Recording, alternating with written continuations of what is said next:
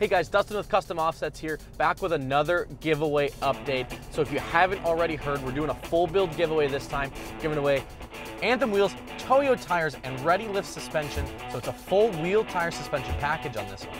Plus, with every t-shirt purchased, we're making a donation to the Nine Line Foundation. So we actually teamed up with Nine Line Apparel. This is actually their truck that we're in right now. We stole it from them. We're gonna do a couple of pretty cool updates, so stay tuned for that later on, which is a foundation dedicated to helping wounded veterans get back into everyday life. So super cool foundation. They're doing really cool work. Um, we're super excited to partner with those guys. Nine Line was super excited to partner with us.